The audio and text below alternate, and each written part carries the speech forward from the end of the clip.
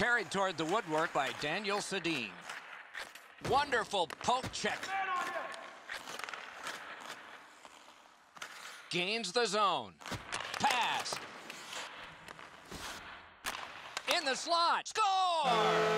Three straight goals.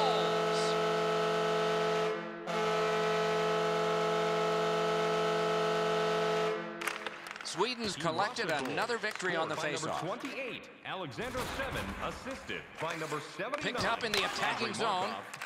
And by number 51, Fedor Tyutin. Time of the goal, 5 minutes, He drives toward the slot. Poke checked away. Got his pad on that one. Good play to knock it away. Anisimov stripped up. That should be a penalty. He can start some danger here. Looking from the blue line. Turned right away with the poke check by Landeskog. Sweden's been assessed a minor penalty. Two minutes, and the call is tripping. Anything you do once, you can do twice. Let's see if that applies to this to particular four. power play. Heads on to the two corner. For tripping. Time to the penalties, 8 minutes, Pick